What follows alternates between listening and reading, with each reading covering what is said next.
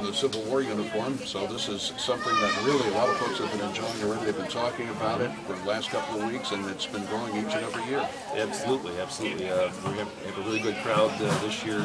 Uh, the numbers of scouts are up. Uh, we had 440 school children yesterday go through the education stations.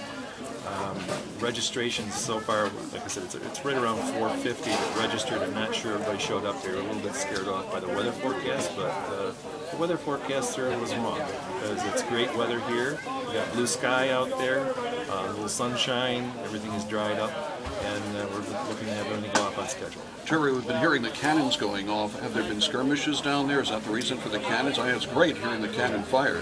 No, this this morning, um, up until 11:30 this morning, we're running the education program for the scouts and the public, and the cannon that you hear firing is uh, an artillery crew that shows the drill and loading and, and how the cannon is fired, and then they actually fire around down the street, not ball, just powder, um, to uh, to show people what it's really like, and, and it adds to the effect. Um, on, on the other end of town, uh, by the old school, um, is the, uh, the, for the less squeamish is Dr. Annabelle with his uh, demonstration of taking off arms and legs and all those things too. So we got a nice assortment. We've got uh, historical people. Uh, I think you already had an interview with the Christian Commission.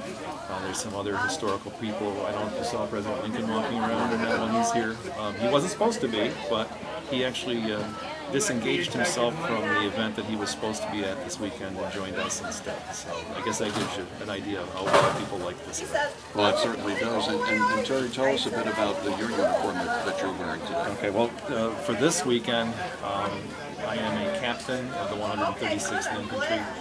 Uh, there will be four companies of troops on the street for the Army this year. Uh, one of cavalry and three of infantry, um, and I have one third of the Union infantry under my command. Um, we are doing three different battles. Uh, Kessler's Cross Lanes is at 1 o'clock today. Uh, Blackburn's Ford is at 3.30 today. And then tomorrow at 1 o'clock, yes, at 1 o'clock, um, is uh.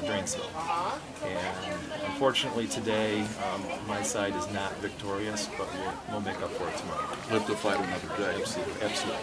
Now, when we look at these battles that, that are selected, these are, are accurate battles that did take place. Where did this one take place? Um, Kessler's Cross Lanes was a small town in what's now West Virginia. It was part of the state of Virginia at the time in 1861. And was a Union unit occupying the, the town that was surprised by a Confederate attack and driven from the town. That's, that's what's going to happen uh, the early part of the battle. Blackburn's Ford was one of the uh, early stages of the first Battle of Bull Run, where General McDowell was probing the Confederates to find out where he might be able to cross Bull Run Creek. And uh, tried at Blackburn's Ford, but was not successful in breaching the Confederate defenses. And then he decided to change his tactics and do the wheel that he actually used for, for Bull Run. And then Dranesville, again, was an 1861 battle. That was shortly after Ball's Bluff. And that was a, a small Confederate detachment that was out foraging, was surprised by a Union army and routed and driven out of that town. When we look